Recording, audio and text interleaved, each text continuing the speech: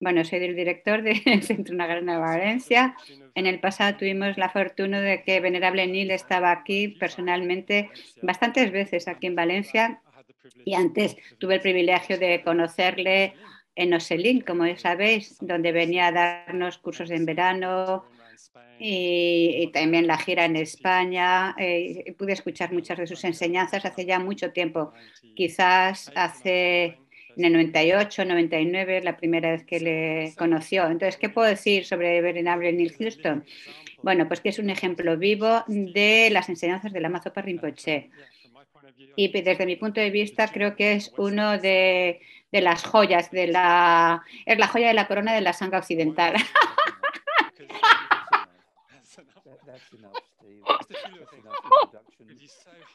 Perdonad. bueno, con eso basta, con eso basta, Steve para, dice. Bueno, eh, no quiere que siga hablando de sus cualidades, porque es muy humilde. Me acuerdo de una historia que me dijiste, ya hablaste en uno de los cursos contigo, eh, cómo tú llegaste a, tomar la ordenación. Aparentemente, eh, creo que, que, dijiste la historia por error, porque eres muy humilde. y sobre los años, bueno, además de, o sea, de que había podido asistir a los cursos con la Mazopa Rinpoche en Europa o en los diferentes lugares eh, cuando podíamos hacer esos retiros con Rinpoche y cuando toda la sangha occidental eh, muy a menudo Rinpoche solía elegir a Venerable Nil para elegir para, eh, para los grupos de discusión o como un SEO para los grupos de revisión. Venerable Neil Houston, cuando hablamos de sangha occidental, desde mi punto de vista, él es un lama, eh, pero que bueno, que es occidental, básicamente, y, que la verdad que me gustaría ser como él. Eh, y es un honor para mí que eh, esté aquí, aunque no sea personalmente, pero bueno, todavía podemos escuchar sus enseñanzas y sus ejemplos maravillosos y espero que nos inspire para poner en práctica estas enseñanzas, que desde mi punto de vista Neil es la encarnación de alguien que no solamente lo escucha, sino que lo pone en práctica en su vida. No quiero poner, ponerte que te avergüences más, pero bueno, para mí es un privilegio que estés aquí y poder compartir tus enseñanzas con tanta gente en España. Muchas gracias, Neil. muchas gracias, Steve, y muchas gracias a todos.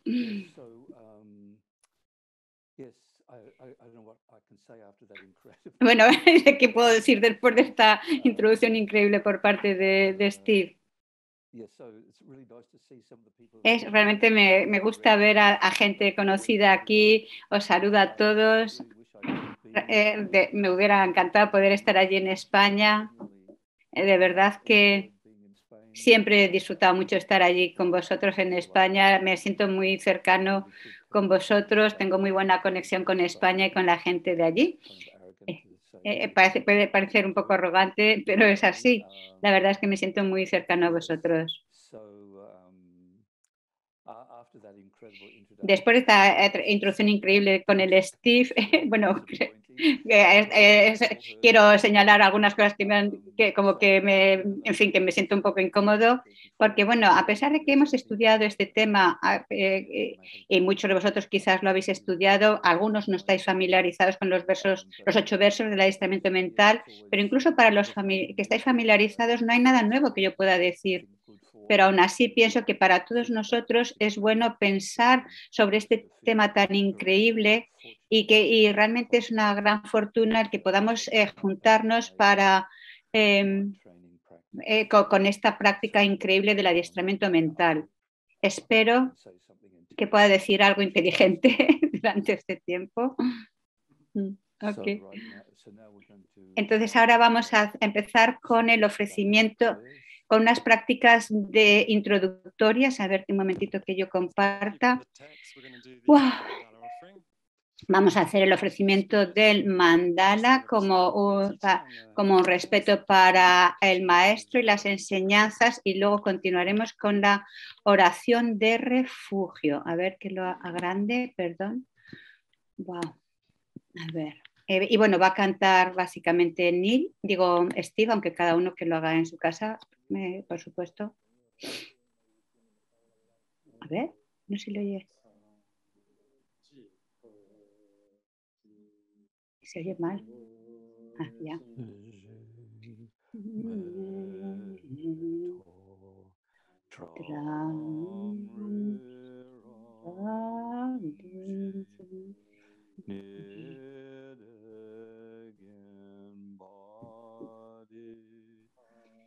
Y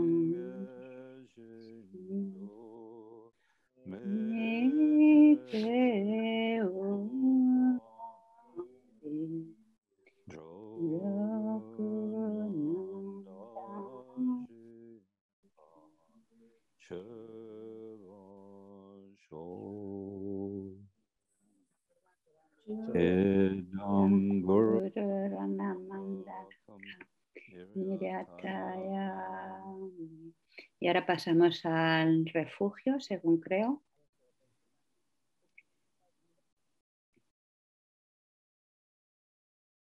A ver.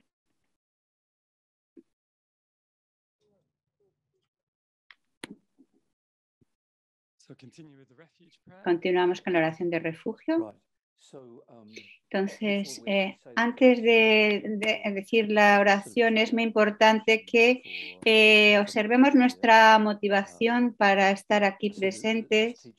Estas enseñanzas son parte de la tradición mahayana, debemos, por tanto, tener una motivación eh, que, que, vaya en consonancia con el propósito de la enseñanza. Ahora es el momento de observar nuestra motivación y corregirla tanto como podamos para que sea eh, intensa y sincera tanto como, y lo mejor posible. Y por supuesto la mejor motivación es la motivación de la bodichita. Eh, aunque hay muchas causas para generar la bodichita, muchos aspectos, pero lo esencial es reconocer nuestra conexión con todos los seres, eh, ver cómo dependemos eh, totalmente de los seres para nuestras, eh, para, para, todo realmente, para nuestra subsistencia diaria y para toda nuestra vida, tanto a nivel ordinario como espiritual. Hemos recibido todo tipo de bondad innumerables veces de todos los seres, especialmente el amor incondicional de la madre lo hemos recibido de todos y cada uno de los seres innumerables veces eh, desde el sin principio en el samsara. Tenemos esta, esta deuda enorme con todos los seres y esta deuda va aumentando cada vez porque cada día eh, que va transcurriendo eh, dependemos de la bondad, de la ayuda, de la protección eh, y del aliento de, otros seres. Eh, entonces, cuanto más pensemos en ellos, más podemos generar esa mente que desea devolver su bondad y cuanto más eh, nos damos cuenta em, de que estamos atrapados en la existencia cíclica, totalmente em, atrapados y creando causas de, de, seguir en la existencia cíclica. Entonces, la mente que quiere devolver la bondad a los seres, de todas las causas de sufrimientos, eh, y que desea liberarlos completamente de la existencia cíclica y mucho más todavía, que desea, eh, eh, que, desea que experimenten la felicidad inmaculada de la iluminación. Entonces, em, imaginar a todos los seres rodeándoos ahora a vosotros y eh, tus padres y eh, a la derecha, madre a la izquierda, amigos eh, por detrás, enfrente a aquellas personas con las que tienes dificultades y tanto como puedas rodearte de todos los seres siendo consciente de que básicamente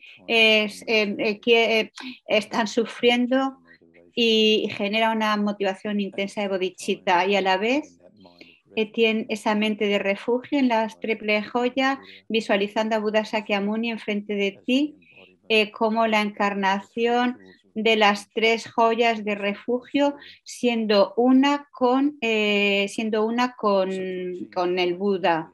Y entonces, para lograr la iluminación, tenemos que generar la bodichita, ponerla en práctica y tenemos que adiestrar nuestra mente en desarrollar la bodichita y, em, y poder superar todos los obstáculos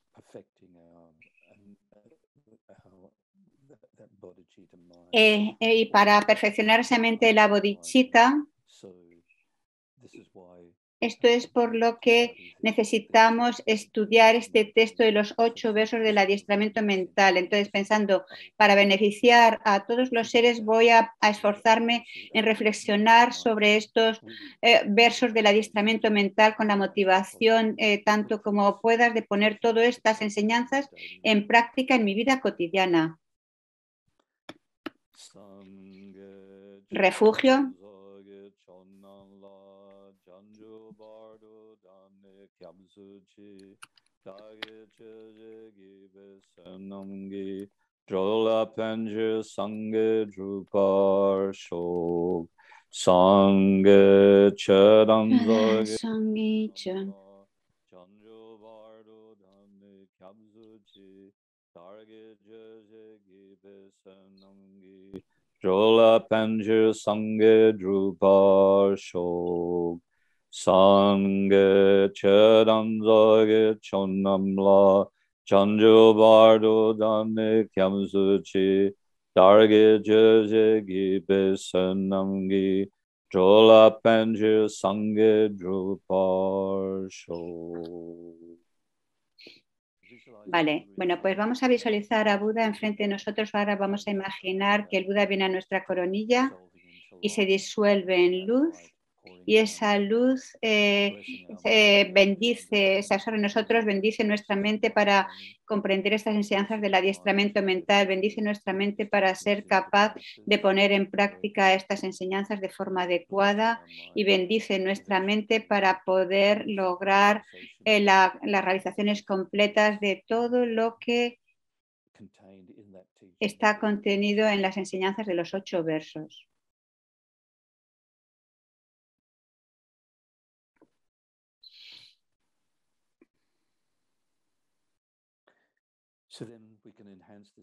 Entonces vamos a, eh, vamos a, vamos a, aumentar este estado de mente haciendo unas, eh, observando unos momentos la, la, respiración y permitir así que nuestra mente esté más apacible, más clara, más concentrada.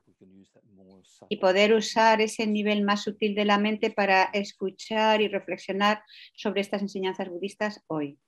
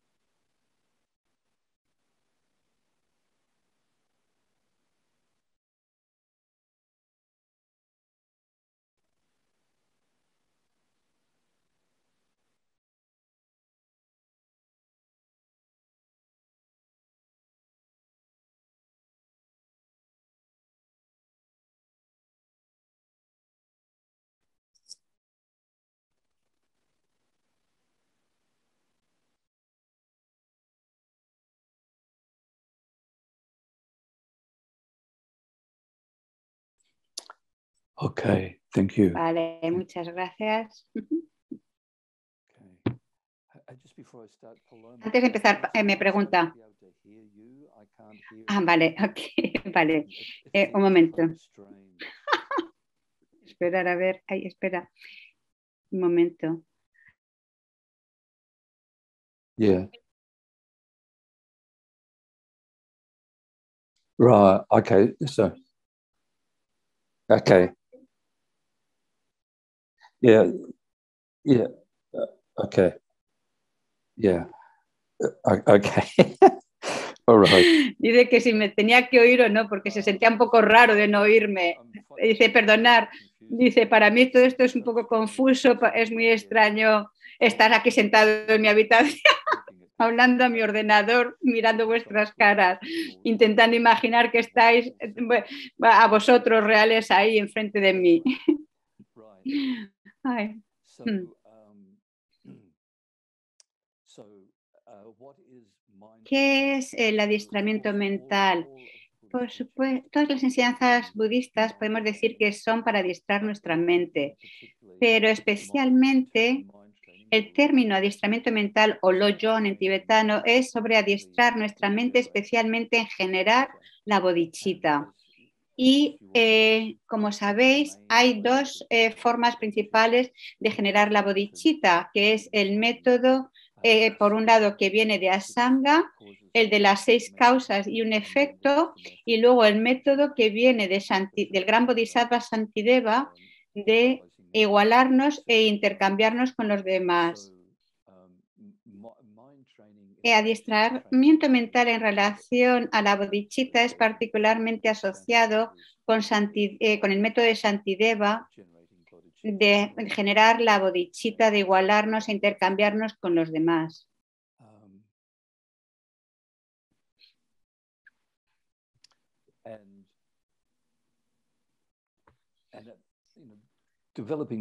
Desarrollar la bodhicitta, el deseo de lograr la iluminación eh, para poder eh, conducir a los seres a la iluminación, suena algo increíble eh, y que puede ser,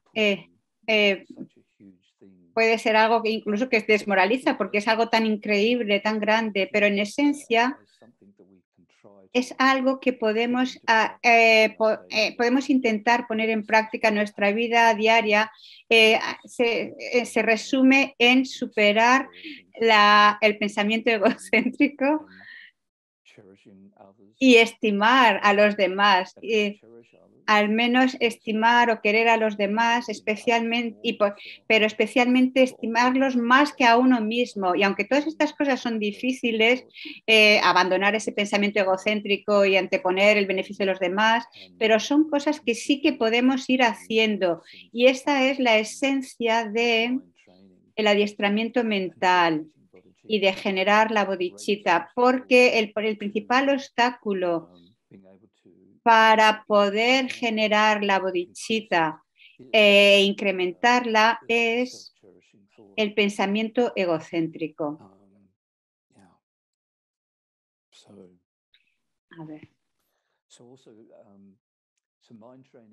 El adiestramiento mental es sobre desarrollar la bodhicitta, especialmente a través del método de Santideva, de igualarnos e intercambiarnos con los demás. Y en, la esencia de esto es abandonar el pensamiento egocéntrico y estimar a los demás más que a uno mismo. Y es importante comprender que para nuestra práctica de bodhicitta, para que funcione, por supuesto, eso va a depender de, en primer lugar, adiestrar nuestra mente en, en renunciar a la existencia cíclica, porque uno no puede generar verdaderamente bodhicitta eh, podemos poner huellas de la boichita en nuestra mente sin haber generado la renuncia, pero hasta que no hayamos generado la gran renuncia, no podemos verdaderamente, completamente desarrollar la mente de la bodhicitta y no podremos renunciar a la existencia cíclica hasta que hayamos renunciado a, esta vida. Es decir, eh, lo que quiere decir de abandonar esa obsesión eh, de, seguir, eh, perseguir todas estas cosas negativas en esta vida. Es muy importante ver que todo el ANRIN que nos habla de, desarrollar primero el abandonar la, preocupación obsesiva por la felicidad de esta vida, es el, nivel de capacidad inicial, luego el, nivel de capacidad intermedio es renunciar al samsara y luego el nivel superior es generar la mente de la bodhicitta. Pero todo, en realidad, todo es para poder desarrollar la bodhicitta. Renunciar a esta vida es el primer paso eh, para, para encaminarnos a ese generar la bodhicitta. Y cuando hemos logrado soltar esa obsesión con, hacia la felicidad de esta vida, entonces podremos finalmente eh, abandonar eh, la existencia cíclica y eso nos permitirá, que cuando hayamos generado esa mente, tendremos las condiciones para poder generar, de hecho, la bodhicitta. Eh, cuando nos adiestramos en las causas para generar esa mente. Bueno, lo que intento decir de momento es como eh, dar un poco eh, como la base para estos ocho versos, porque especialmente eh, hay que lo que aprecio estos ocho versos, para poder apreciar estos ocho versos tenemos que comprender lo que es la actitud egocéntrica y, y la importancia de estimar a los demás. Por supuesto, las bases de la bodhicitta es la compasión. La bodhicitta es más que compasión, pero eh, la, esencia de, la bodhicitta es la, se basa sobre la gran compasión. Es como, por ejemplo, si tú vas a hacer un pastel y ese pastel tiene diferentes ingredientes, pero el pastel es algo más que eh, cada uno de esos ingredientes específicos. Bueno, pues la bodhicitta es algo más que alguno de esas causas pero el sabor esencial de la bodhicitta es la gran compasión, es como el, como el sabor esencial de, una tarta es el, sabor dulce. Eh, podemos tener diferentes ingredientes, pero el, sabor esencial es, es, algo dulce.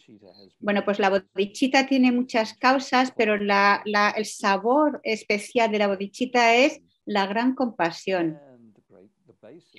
Y las bases de la gran compasión es desarrollar el amor bondadoso. Por supuesto, estas dos cosas van de la mano, pero son diferentes. Por supuesto, la compasión es la mente que no puede soportar el sufrimiento de los demás y el amor es querer eh, que los seres sean felices. De hecho, en las enseñanzas eh, se señala que eh, es el, amor bondadoso. O sea, que por un lado está el amor que desea que otros sean felices y esa felicidad no hablamos de una felicidad mundana, ordinaria, sino una felicidad perdurable.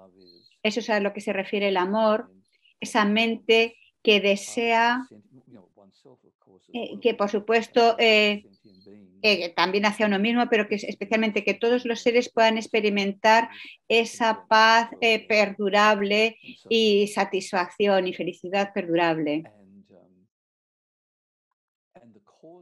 Y la causa de esto, verdaderamente, cuando piensas en la causa de desarrollar esa mente de querer que los seres tengan una felicidad genuina, es llegar a tener esa realización de que aunque eh, de que ah, tu familia, aunque diferenciamos entre amigos, extraños, enemigos, etcétera, pero que eh, eh, todo lo, o sea, que, que, independientemente del éxito que aparenten en sus vidas, de que tengan riqueza, etcétera, pero que todo eso no representa, no conlleva una felicidad real.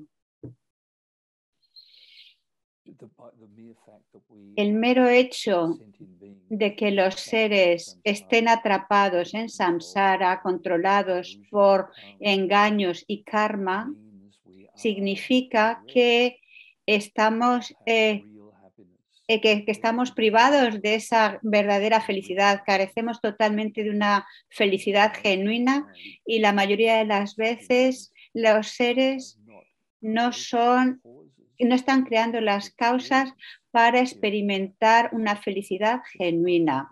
Solamente cuando comprendemos esto, cuando nos damos cuenta de eso, cuando lo sentimos, eh, como se queda ahí grabado en nuestro corazón, es cuando uno puede entonces desear que la gente sea feliz. Si tú piensas que la gente es feliz, si ya crees eso, no tiene sentido. Entonces, el, que desea es que, sean felices, si, piensas que ya lo son. Por ejemplo, si alguien es un billonario, no vas pensando, oh, qué maravilloso sería que este billonario fuera rico, porque ya es rico, ya, ya tiene mucha fortuna. O si piensas que alguien es feliz, por eso eh, siempre hacemos ese, cometemos ese error, vemos, vemos a la otra gente y pensamos que son felices, pero en la existencia cíclica, controlada por engaños y karma, están privados de verdadera felicidad. Intelectualmente lo podemos comprender, pero solamente cuando realmente eh, eh, esto se, llega a nosotros es cuando entonces podemos generar ese amor genuino de desear que sean felices continuamente y de forma perfecta. Y la base de eso, antes de poder desarrollar ese nivel de amor, está lo que llamamos, en tibetano es algo así como Champa, que se traduce como amor afectuoso, algo así. Eh, dice, es ese tipo de amor de, que, de donde surge eh, el amor y la compasión y de, esa, y de ahí surge la gran compasión y de ahí la, la bodichita. Y cuando hablamos del amor ah, afectivo, es ese amor que surge cuando reconocemos la bondad de los demás.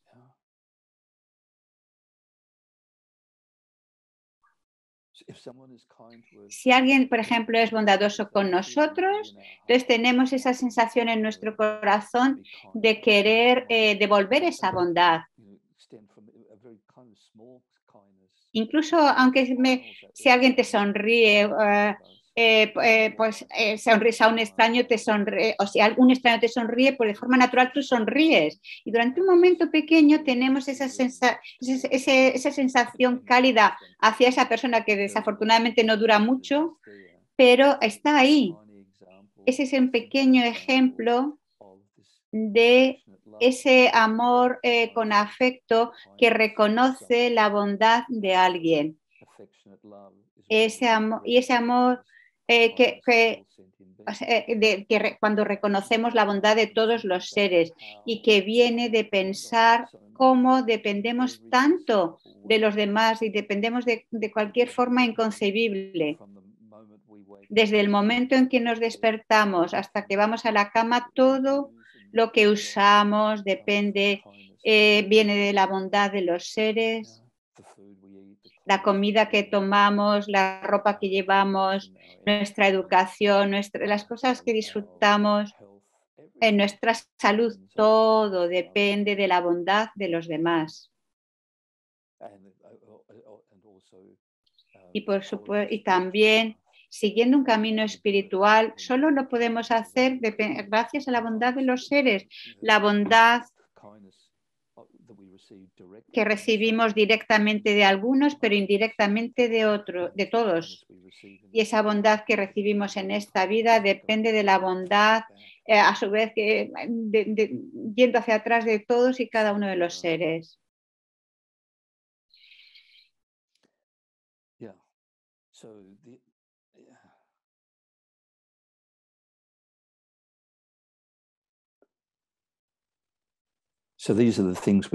Estas son las cosas en las que tenemos que adiestrar nuestra mente. Es tan importante reflexionar sobre la bondad de los bondadosos seres maternales de las, y, las infinitas formas en las que son bondadosos con nosotros. Tenemos una gran deuda con ellas y, no tenemos que percibir esa deuda como una carga, sino como algo que verdadera, ahora que hemos encontrado el Dharma y que tenemos este precioso renacimiento humano, tenemos, es la oportunidad perfecta para devolver esa bondad eh, eh, para, para, devolver, para, para, devolver esa deuda.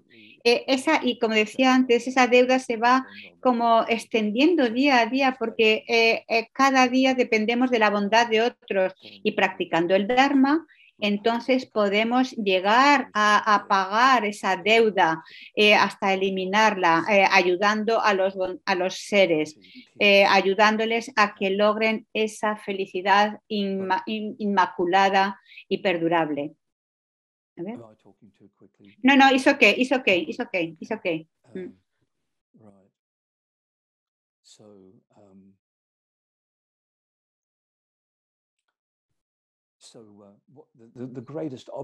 el, gran, el mayor obstáculo para, para todo esto es eh, para reconocer la bondad de los seres y por tanto para desarrollar ese amor afectivo hacia los seres que desea devolver esa bondad eh, y, que desea ese amor que desea que los seres sean felices y para desarrollar la gran compasión, lo que nos, ¿qué nos impide hacerlo?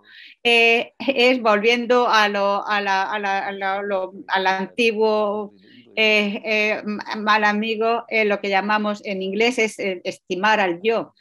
bueno, nosotros traducimos como actitud egocéntrica. Entonces, este, esta actitud egocéntrica es importante que comprendamos que es algo, porque es algo clave en las enseñanzas mahayana que comprendamos.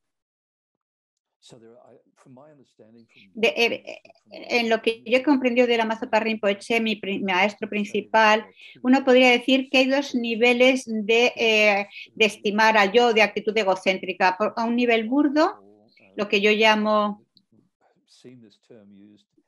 a ver, no lo he visto este término eh, usado por grandes autoridades, pero es como yo lo, entiendo. Este pensamiento egocéntrico burdo es como un estado totalmente negativo de mente que básicamente no nos permite practicar el Dharma o si lo permite o si practicamos, cuando hacemos prácticas, lo hacemos de forma como una motivación eh, equivocada, lo hacemos de forma muy débil. Y luego hay un nivel más sutil y ese pensamiento egocéntrico está basado en una visión errónea del yo. Eh, tenemos eh, una ignorancia que crea esa ilusión de un yo que existe inherentemente, como verdaderamente. Y debido a eso tenemos este nivel más burdo de aferramiento al yo o de estimar al yo, que intenta mantener la esencia de ese yo eh, eh, y, de, mantener eh, feliz a ese yo, protegerlo del sufrimiento. El término en inglés eh, estoy, hablando con Paloma sobre esto, porque el término eh, estimar, eh, en inglés se dice self-cherishing. Entonces, cuando decimos cherish o estimar, es como de algo como muy bueno, querer algo como muy bueno. Pero en nuestra lengua occidental se suele traducir ese término, o sea, que, que en tibetano está describiendo un estado o sea, cuando se habla de actitud egocéntrica o estimar al yo, se está describiendo un, nivel, un estado mental muy, muy negativo, que es como esa obsesión que tenemos respecto a nosotros, que pensamos que estamos cuidando de nosotros, pero la forma en la que cuidamos de uno mismo, cuando seguimos ese pensamiento egocéntrico, ese pensamiento que, que piensa solo en uno mismo, lo hacemos con apego y con un deseo aflictivo y estamos convencidos de que esa, de, estamos convencidos de que siguiendo ese deseo aflictivo y apego vamos a ser felices.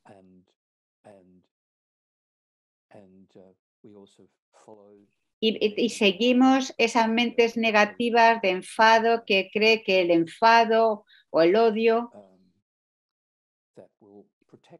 nos va a proteger y va a, dejar lejos, a, alejar a las influencias negativas, a la gente negativa, la va a mantener lejos.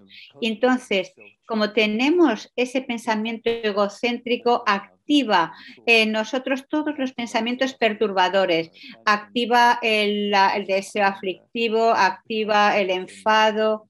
Eh, y cuando ese apego y enfado están activados, pues entonces pues vienen el resto de los pensamientos perturbadores, orgullo, envidia, celos, miedos, preocupaciones, etcétera.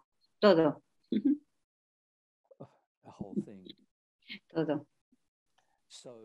Um, Según daba este ejemplo de, de, la tarta en el que tienes diferentes ingredientes y, el, pastel en sí, que está hecho de esos diferentes ingredientes, pero que es algo más que cada uno de esos ingredientes y es diferente de cada uno de esos ingredientes especiales, pues de la misma forma, cuando hablamos del pensamiento egocéntrico, ¿a qué, qué es? Es cómo nuestros pensamientos perturbadores eh, trabajan juntos.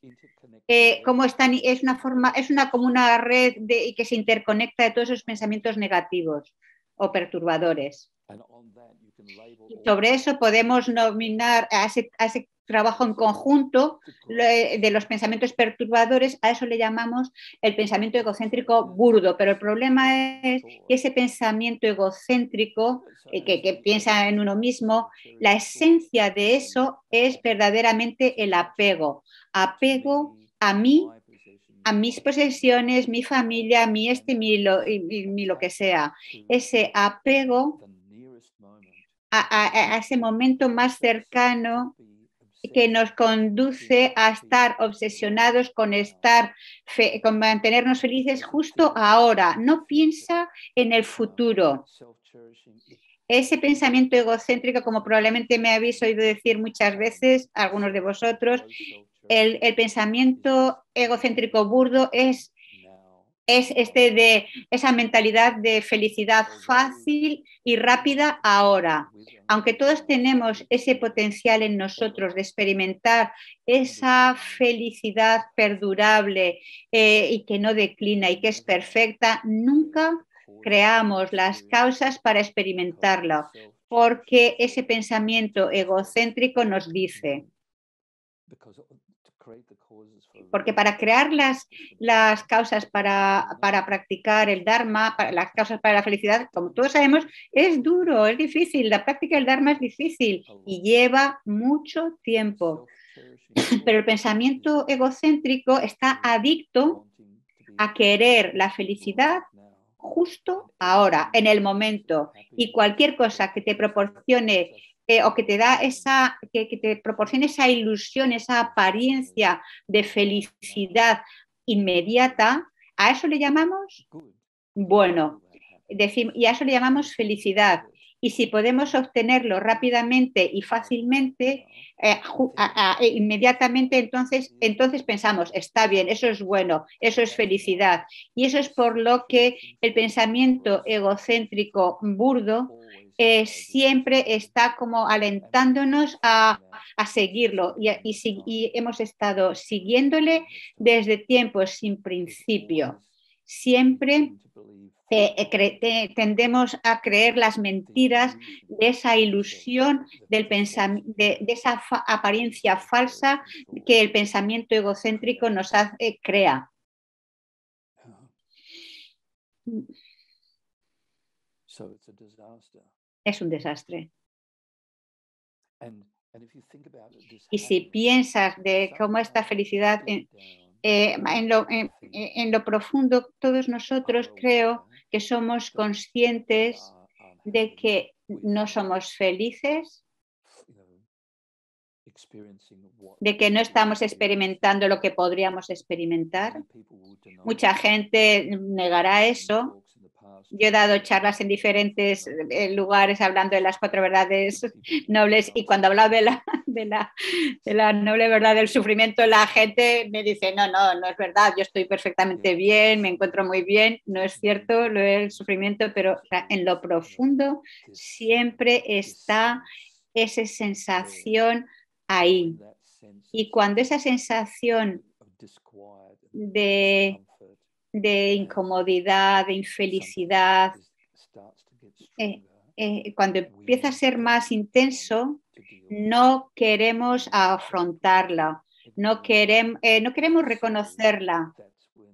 Y eso es cuando el pensamiento egocéntrico eh, eh, eh, para, solucionar esa sensación incómoda, busca cómo distraerlo, distrae tu mente de esa sensación incómoda y entonces eh, te dice, esto es bueno y esto es lo que llamamos felicidad. Eso es lo que nos hace pensar el pensamiento egocéntrico. Y así nos estamos condicionando de vida en vida, pensando de esa forma y conduciéndonos de esa forma. Y nunca nos damos la oportunidad de eh, enfrentar las dificultades y, y, y cortar, eh, enfrentarlas. Y es por lo que permanecemos todavía atrapados en el sufrimiento. Y seguimos ese pensamiento egocéntrico creyendo que eso es bueno. Parece que nos está diciendo que eso que obtienes de forma rápida y fácil y que te da una cierta satisfacción instantánea, pero nunca pensamos en las consecuencias futuras de nuestras acciones. El pensamiento egocéntrico eh, es como una, eh, como una visión, como, como a través de un túnel en el que te enfocas solamente en algo, solamente en el momento más cercano de lo que puedes obtener justo ahora, en el instante. Y eso es por lo que, podemos, eh, por lo que nos implicamos en tantas acciones negativas, creyendo que está bien, porque te proporciona unos resultados instantáneos, unas soluciones instantáneas al problema o una gratificación instantánea y no y, en lo y estamos bajo su control en lo que estamos bajo el control del pensamiento egocéntrico y cuanto más intenso sea ese pensamiento egocéntrico no nos capacita para pensar en las consecuencias eh, hacia los demás o incluso las consecuencias hacia uno mismo en el futuro.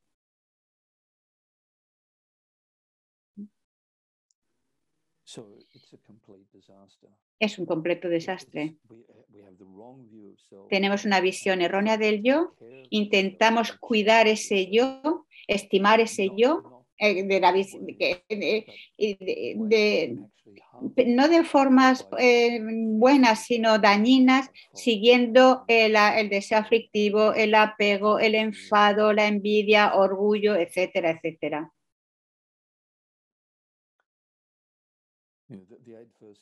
Los ocho versos eh, nos va a hablar de los ocho eh, dharmas mundanos. El seguir los ocho dharmas mundanos es un ejemplo de que cuando los seguimos, cualquiera de esos dharmas mundanos es un ejemplo de seguir ese pensamiento egocéntrico burdo.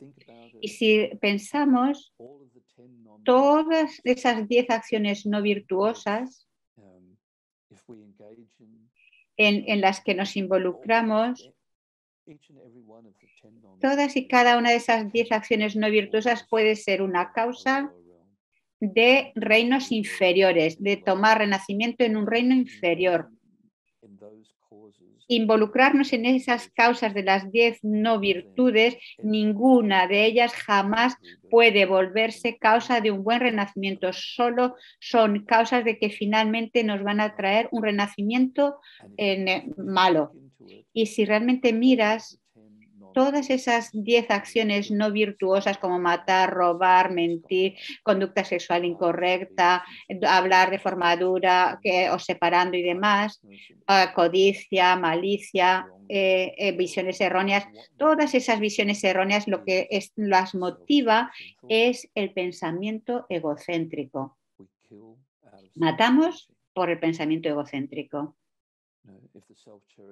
Sí, sí, sí, si, nuestra vida está en peligro, en amenaza, entonces el pensamiento y el pensamiento egocéntrico es fuerte, entonces queremos en ese momento, cuando está presente ese pensamiento egocéntrico operando, estamos eh, eh, entonces eh, estamos dispuestos y somos capaces de matar a otros seres, a, seres humanos, incluso aunque sean cercanos a nosotros, como desafortunadamente continuamente está pasando.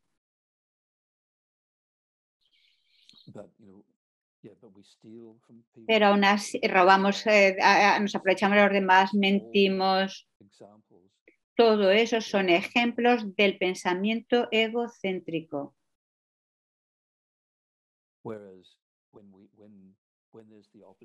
Cuando hay oportunidad de, por ejemplo, de matar a, un insecto y no lo hacemos, entonces estamos involucrándonos en una acción virtuosa que puede ser una causa para un buen renacimiento y para otras cosas beneficiosas en ese momento en el que tomamos la decisión de no dañar, no matar a otro ser, en ese momento el pensamiento egocéntrico no está activo y lo que está ahí, aunque sea no muy intenso y pueda no durar mucho, eh, pero lo que está ese pensamiento de estimar, apreciar a, a, otros, al menos a otro ser, aunque sea un pequeño ser, pero en ese momento estamos preocupados por el bienestar de ese ser.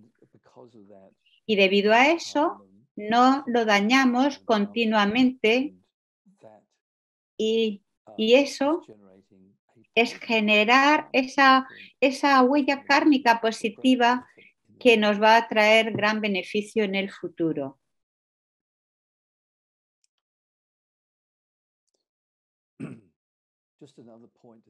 Otro, otro, otro aspecto a pensar de este pensamiento egocéntrico burdo es que en esencia lo que podemos decir es que el pensamiento egocéntrico eh, y, el egoísmo es como que lo mismo, en español es, así lo parece, sobre todo, pero, eh, pero, diríamos que todo egoísmo es actitud egocéntrica, pero no toda actitud egocéntrica es egoísmo, porque egoísmo es cuando uno solo piensa en uno mismo y completamente ignora a los demás. Y está dispuesto a dañar eh, y, y, y, en eso está en consonancia con el pensamiento que, eh, que, que, se centra en uno mismo, pero algunos aspectos del pensamiento egocéntrico o de estimarse a uno mismo no es en relación a otras personas, sino es ese pensamiento eh, que se estima a uno mismo eh, sin dañar a otros, pero que está dañando a uno mismo, porque siempre estamos tomando la salida fácil. Cuando hay algo que podemos hacer que es verdaderamente beneficioso para nosotros, pero es difícil hacerlo y que puede llevar mucho tiempo llevarlo a cabo, entonces ese pensamiento que se estima a sí mismo eh, pone todo tipo de excusas para no hacerlo y no lo hacemos y entonces no nos beneficiamos.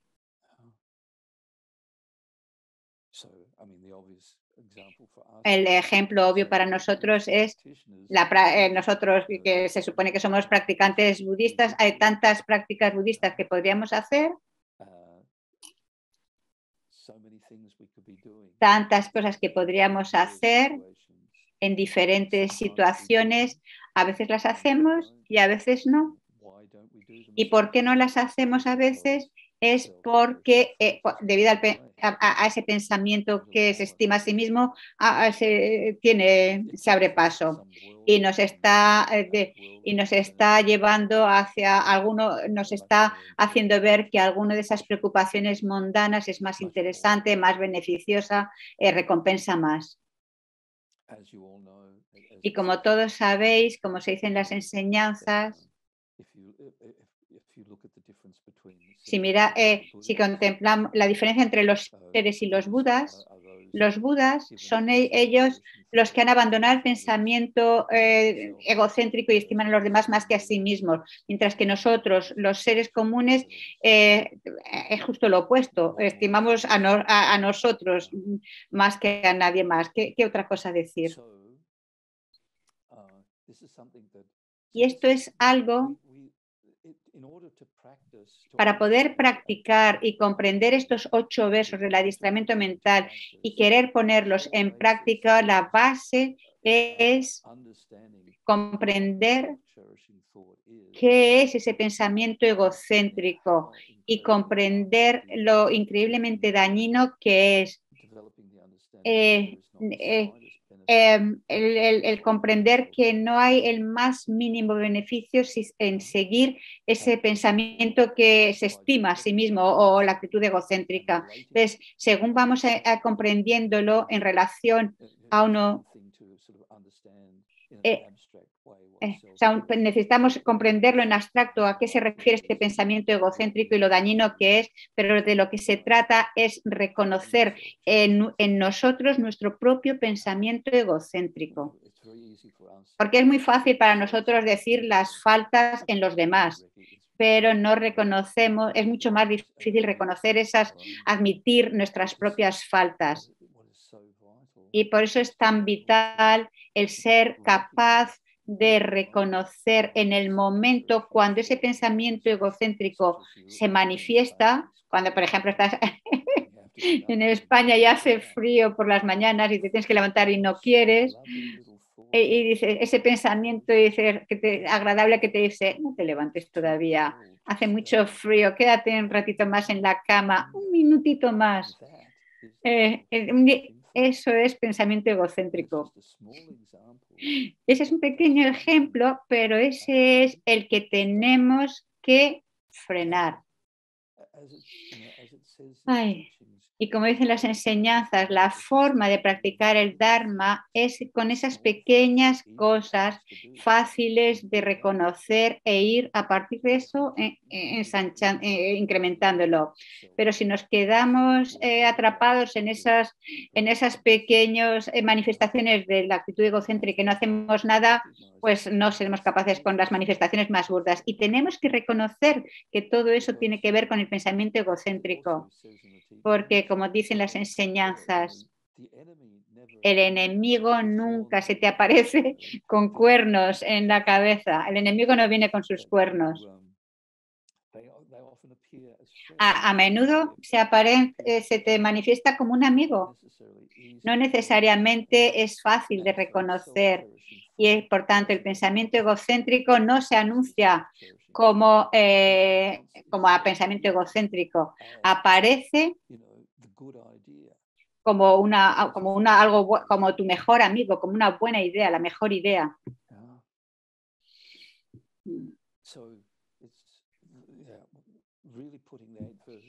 Eh, para poner estos ocho versos en práctica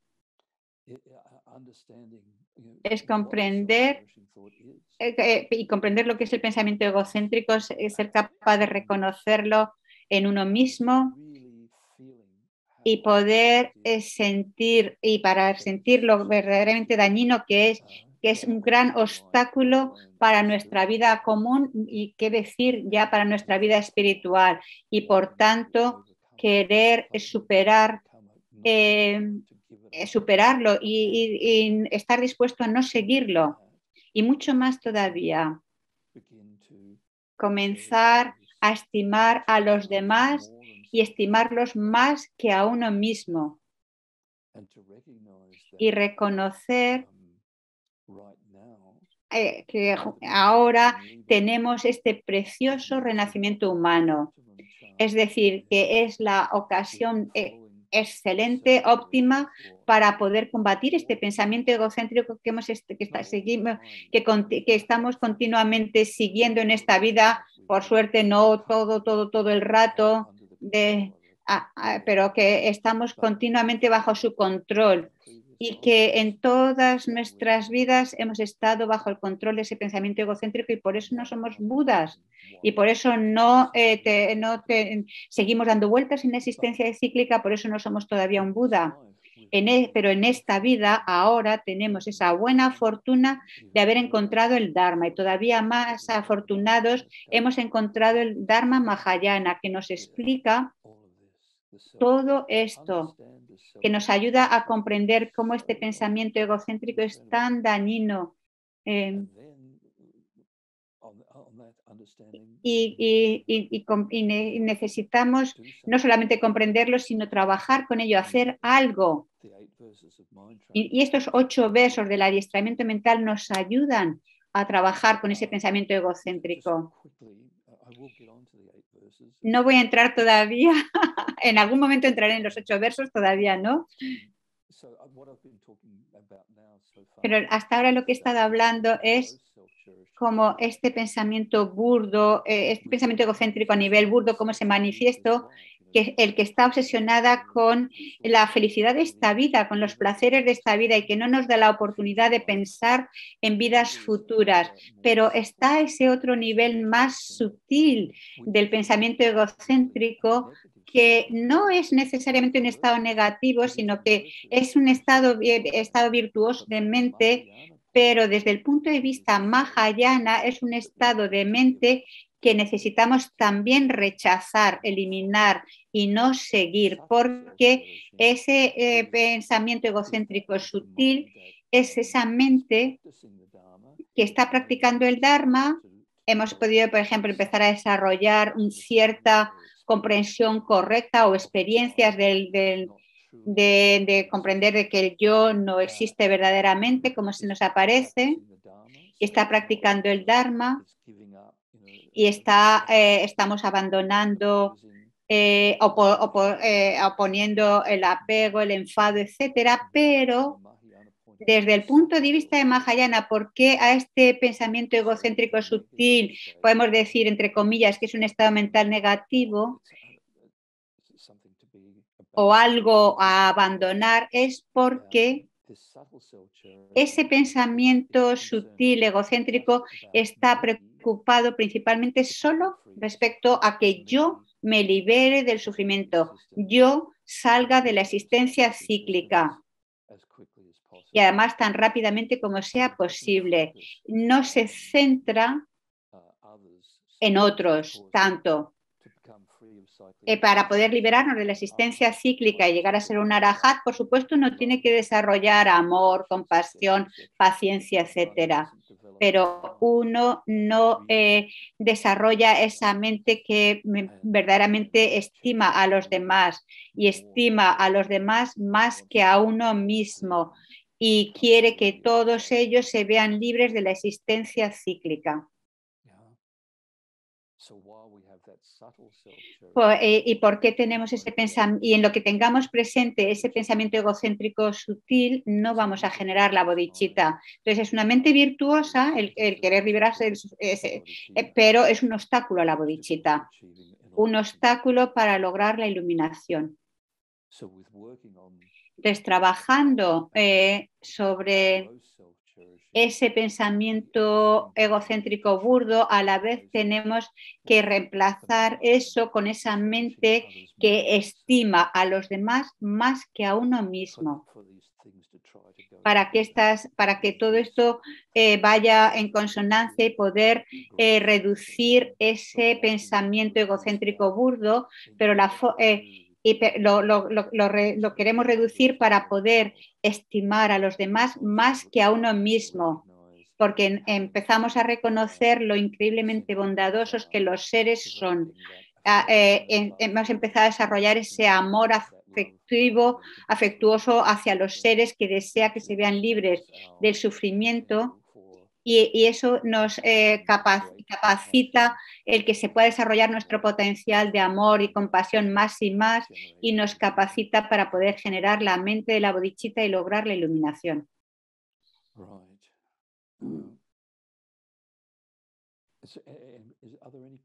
¿Hay alguna pregunta, eh, Paloma? ¿Alguien tiene alguna pregunta? Paloma, ¿hay alguna pregunta? Eh, ¿Las puedes enunciar o...? Me preguntas, Paloma. Ok, vale. Oh, ok.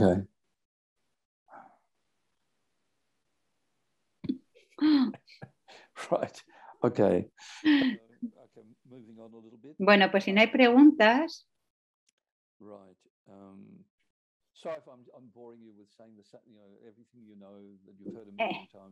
Sé que lo que estoy diciendo lo habéis escuchado un millón de veces, pero necesito enfatizar esta parte sobre eh, llegar a comprender lo que es el pensamiento egocéntrico y la necesidad de abandonarlo.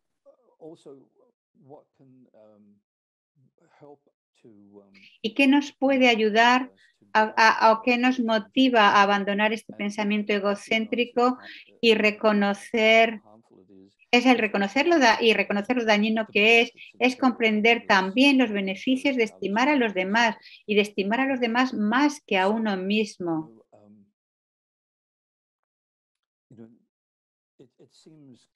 Parece eh, como intuitivo que cuando estamos eh, bajo el control del pensamiento egocéntrico, la lógica que parece que subyace es que para que yo sea feliz y para que yo abandone el sufrimiento, tengo que dedicar mucho tiempo a, a, a mí.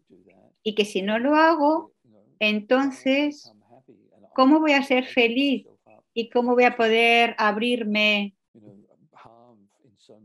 Eh, a ver, la realidad es que centrándome tanto en mí mismo continuamente eh, actúa como condición para que todos nuestros pensamientos, eh, eh, o sea, para, para activar esos pensamientos dañinos. Y por otro lado, cuando estamos bajo el control del pensamiento egocéntrico, pensamos que si em, pongo mi energía en, preocuparme por los demás, entonces no tendré tiempo para mí y entonces voy a sufrir. Pero el, el, tema a comprender más y más eh, es primera a nivel lógico eh, eh, el poder ir comprendiendo lo más es que cuando estimamos a los demás aunque el objeto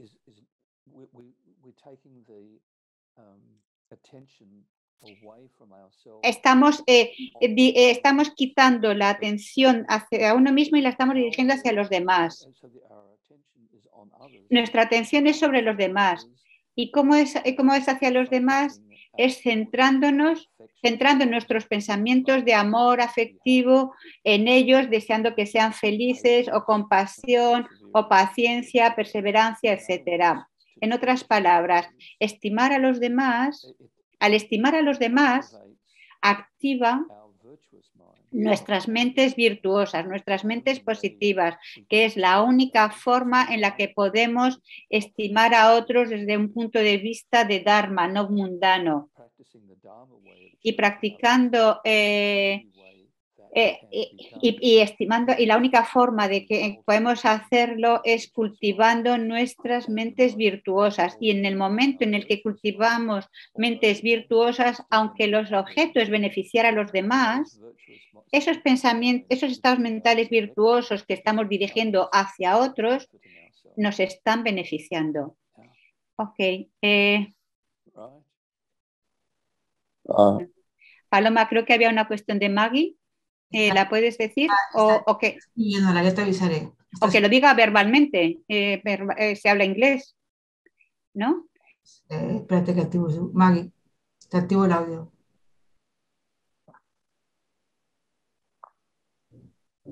Vale, Maggie. Dale. Yeah. Okay. Do I ask the question in English? Yes. Yes, yes. Traduce también. Yes. Hello, Venerable. I, Hola. Me he perdido un poco cuando dices que el pensamiento egocéntrico no es egoísmo, no todo, pero sí todo egoísmo es pensamiento egocéntrico. Me he perdido un poquito, no acabo de comprender esos matices, porque dices que todos los pensamientos, o sea, que eh, toda actitud egocéntrica no necesariamente es egoísmo. ¿Y por qué dice esto, venerable Neil? Dice, por ejemplo, cuando uno es egoísta,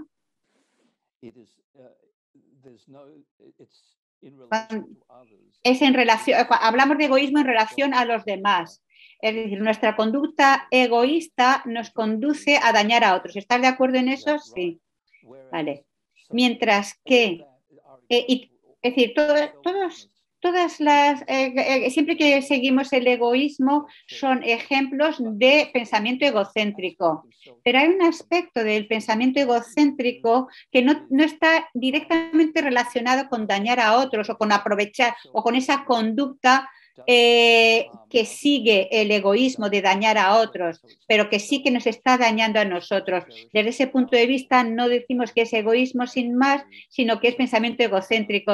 Solo dar este ejemplo simple de, por ejemplo, algo que podemos hacer que sea muy beneficioso para nosotros, que puede ser un beneficio mundano o un, un beneficio de Dharma, pero no lo hacemos porque porque ese pensamiento egocéntrico es así, ah, por ejemplo, eh, o sea, que a lo mejor hay algo beneficioso que podemos hacer, pero el pensamiento egocéntrico te dice, oh, es demasiado pesado, requiere mucho esfuerzo.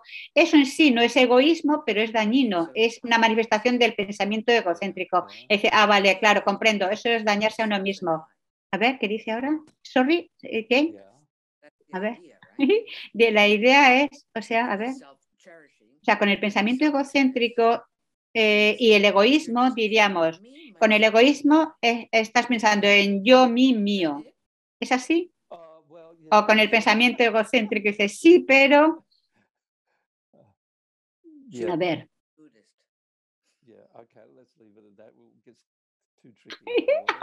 dice, bueno, esto es, eh, vamos a dejarlo así, tal como hasta ahora lo ha explicado, ¿vale? Sí, yes, yes, yes, yes, yes, yes. Um, Vale, continuamos pues. Uh, Bueno, cuanto más veamos los pensamientos de estimar a los demás, eso no nos va a dañar, um, especialmente desde un punto de vista de Dharma, estamos despertando nuestro potencial positivo y, es- y en lo que estamos pensando, en, eh, estimando a los demás, es un estado virtuoso, hay un tipo de, de- de paz, de felicidad, de satisfacción en nuestra mente en, en lo que estimamos a los demás, pero además estamos generando, eh, huella- estamos depositando huellas positivas en nuestra mente que nos va a beneficiar en el futuro y también nos va a capacitar para poder eh, estimar a los demás todavía más en el futuro. Mientras que si seguimos el pensamiento egocéntrico, de hecho, lo que está activando son pensamientos perturbadores. En ese momento en que están activos, no, no somos felices, no estamos contentos y estamos creando causas para más sufrimiento, tanto ahora como en el futuro, y creando más obstáculos para eh, practicar el Dharma.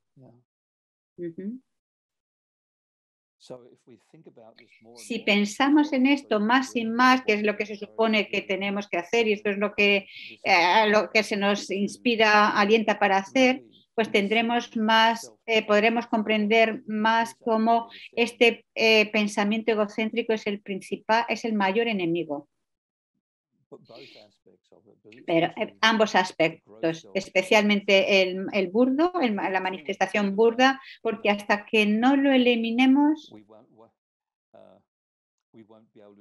no vamos a ser capaces de experimentar ese, ese nivel más sutil y primero tenemos que tratar con esa manifestación más burda del pensamiento egocéntrico.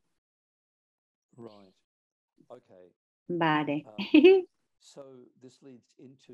Y esto nos lleva ya a los ocho versos del adiestramiento mental o del pensamiento que, de la transformación del pensamiento que nos habla de transformar nuestra mente de, del pensamiento egocéntrico a ser capaz de pensar en los demás, estimarlos más que a uno mismo. Entonces, algo que quiero aclarar es ese término. Intento no dar enseñanzas, no, no llamo a esto que a, a mi balbuceo enseñanzas, yo solo intento enseñar cosas que yo haya recibido de maestros adecuados y yo he recibido de los que haya recibido el linaje, yo he recibido estas enseñanzas de los ocho versos del adiestramiento mental de la Mazopa Rinpoche, que Adyestu Tensopa Rinpoche, en el Instituto Chenresi, creo que fue en el 79, y también eh, de los ocho versos, estas enseñanzas de su santidad Dalai Lama en Dharamsala y también la transmisión oral de su santidad el Dalai Lama. Esas enseñanzas, la eh, su santidad el Dalai Lama a- a- eh, estimulaba a la gente para que memorizaran estos ocho versos, porque realmente eso es corto y es muy útil eh, y práctico y también os aliento a que si podéis y que si realmente os interesa este tema, que memoricéis estos ocho versos. Um, yeah. So, um, Estos versos fueron compuestos, como sabéis, por um, Langri Tampa. Was Dorje Es su, Sengye. Dorje Sengye, su, no- su nombre de ordenación. Estos versos fueron escritos, muchos de los textos eh, que estudiamos eh, fueron escritos por grandes uh, practicantes como consejos para los demás, mientras que estos ocho versos se escribieron por Langri Tampa como un consejo a sí mismo.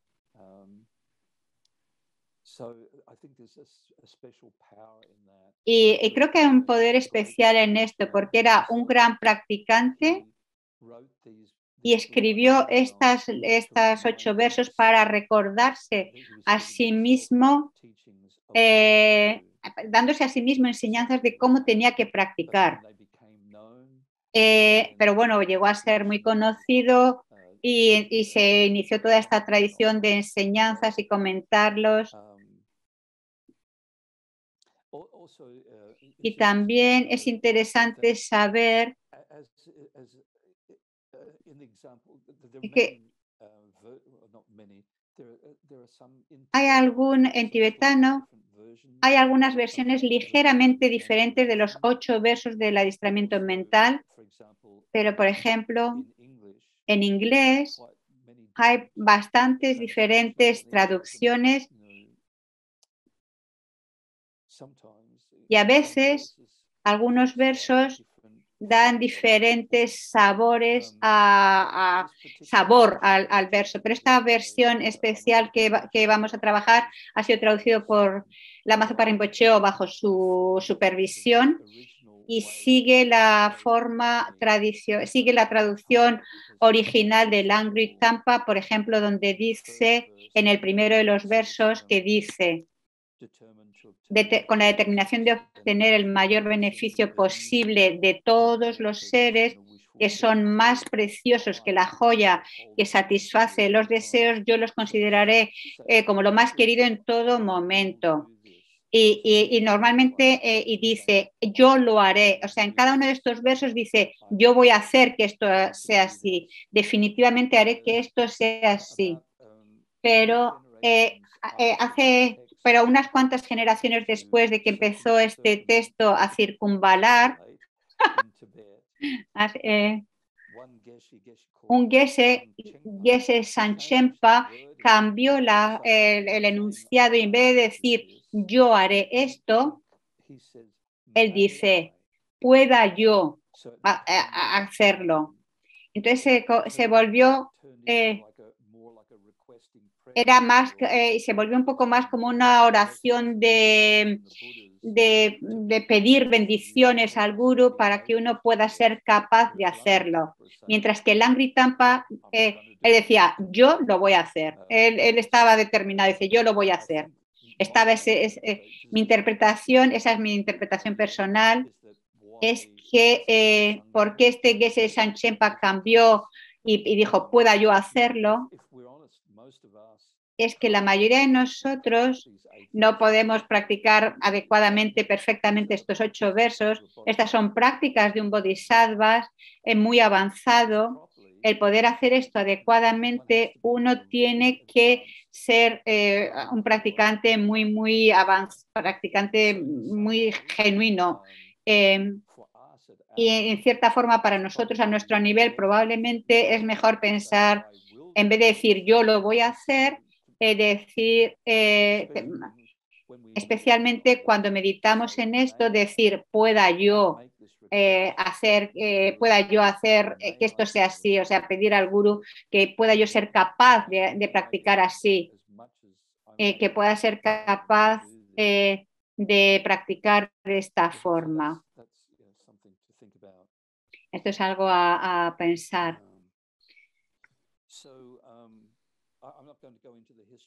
No voy a entrar en la historia de todos estos versos, pero rápidamente sí quiero decir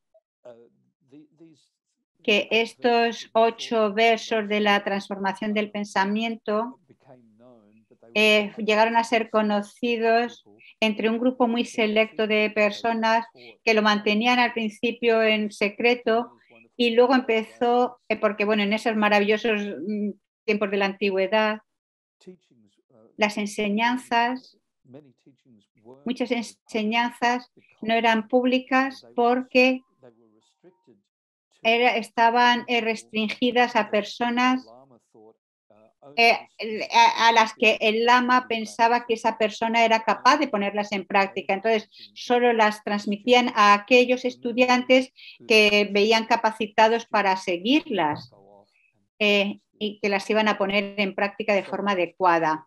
Y así durante un tiempo se mantuvieron en secreto, se transmitieron en secreto, pero con el tiempo, eh, gracias a Geshe Chekawa, estos ocho versos empezaron a, a, ser, a enseñarse de forma pública. Y la historia dice, yo lo he leído recientemente y no sé ahora realmente dónde, cuál es la fuente, porque tengo muchos libros sobre, y comentarios sobre los ocho versos y ahora no sé dónde lo leí, pero eh, confiar, es verdad, lo he leído en un texto. Aparentemente, creo que fue Geshe Chekawa encontró estos versos increíblemente beneficiosos y pensó, oh, no se han enseñado públicamente y sabía por qué, pero tenía alguna conexión ah, con muchos leprosos eh, eh, que sufrían de lepra. Empezó a enseñarles estos ocho versos a estos leprosos que eh, encontraron muy útiles para sobrellevar esa situación tan dolorosa y pensó, dice, bueno, si está pudiendo beneficiar a estos leprosos, estas enseñanzas tienen que transmitirse de forma mucho más abierta a, otros practicantes de Dharma. Entonces, esos ocho versos empezaron a ser conocidos hacia esa época como, como las enseñanzas de los leprosos. Entonces nosotros somos los leprosos modernos de estos días porque desesperadamente necesitamos estas enseñanzas. Perdonar que os diga todo esto, pero, pero es así. Ah.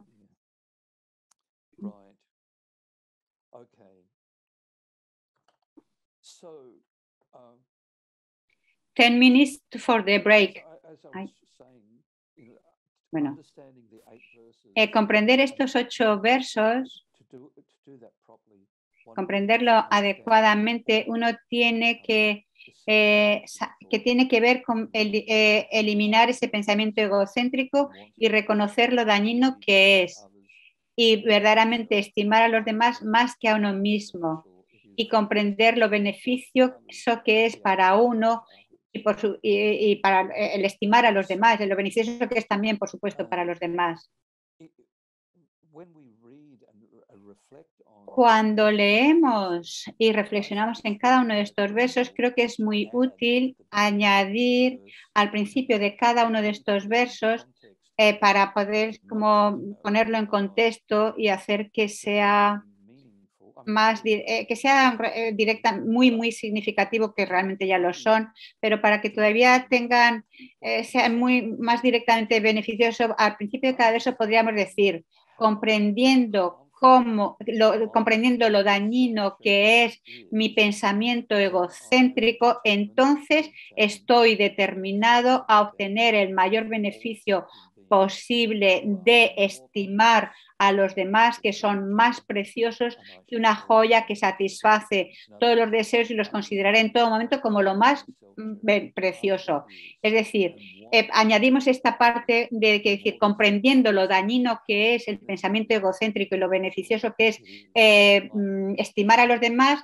Entonces, con esta comprensión, tomo, eh, estoy determinado a, para poder, a, para sacar el máximo beneficio de los seres, considerarlo como, lo más como la joya más preciosa eh, que satisface todos los deseos y considerarlo como lo más querido continuamente, todo el tiempo. En este primer verso, en esta primera línea, originalmente la traducción eh, que solía circular en, en la FPMT de los ocho versos decía, con la determinación de obtener el mayor beneficio posible para todos los seres para, entonces eso tiene como mucho sentido, es decir, para, eh, eh, eh, se, es como comprendemos nuestra práctica del Bodhisattva, queremos ser beneficiosos para los seres. Pero Lama Zopa Rinpoche cambió este para y dijo de, de, con la determinación de obtener el mayor beneficio posible de todos los seres en vez de para todos los seres. Entonces, claro, cuando eh, cuando escuchamos eso, puede parecer que es pensamiento egocéntrico. Dice, hoy me voy a beneficiar de todos los seres y además al máximo. Parece como que es estar aprovechándote de todos los seres, que estás intentando, o sea, suena como, mm, como que no parece una práctica de Dharma, parece como pensamiento egocéntrico, no parece que sea lo que un bodhisattva deba hacer.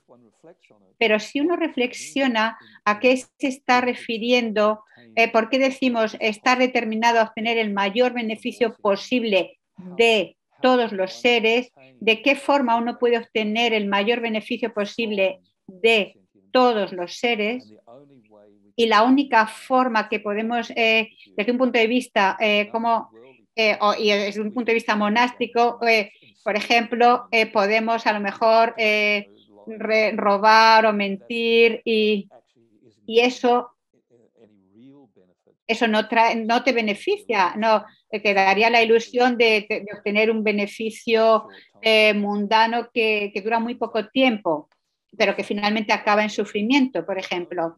Pero la única forma en la que podemos obtener el mayor beneficio posible de todos los seres es beneficiarles ser bondadosos con ellos. Al menos experimentar ese amor afectivo hacia ellos o incluso más, ese, ese, ese amor que desea eh, que tengan una felicidad genuina, que una, compasión eh, que, eh, de, de, practicar la moralidad, etcétera, para poder ayudar a los seres y beneficiarlos. Entonces, desde ese punto de vista tiene gran sentido utilizar esa palabra de en vez de para, es decir, con la, con la determinación de obtener el mayor beneficio posible de los seres. Y además también otra forma en la que podemos comprender esto es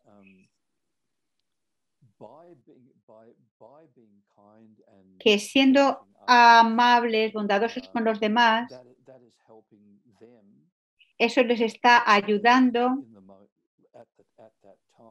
en esos momentos, pero siendo amables, bondadosos con los seres, nosotros estamos acumulando méritos. Y esos méritos se necesitan para tener las realizaciones que nos van a permitir a liberarnos del samsara y la iluminación. Los méritos en sí no eh, traen la iluminación, pero para poder lograr la iluminación, para poder generar las realizaciones en el camino a la iluminación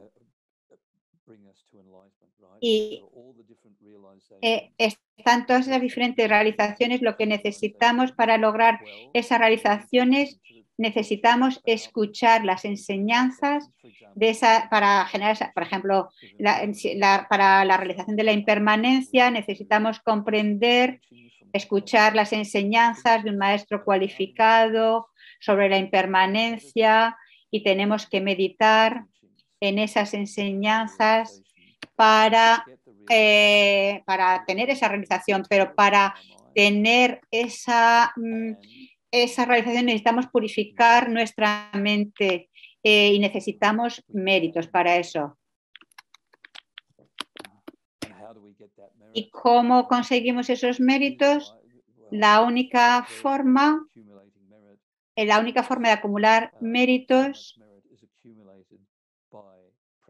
eh, acumulamos méritos principalmente en relación a los.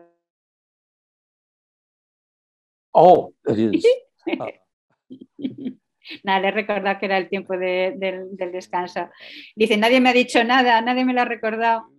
Dice, dice bueno, pero por favor quiero que... a ver, bueno, que vale, lo vamos a dejar aquí ahora de momento. Vale, vale, yes, half eh, yes, sí, media...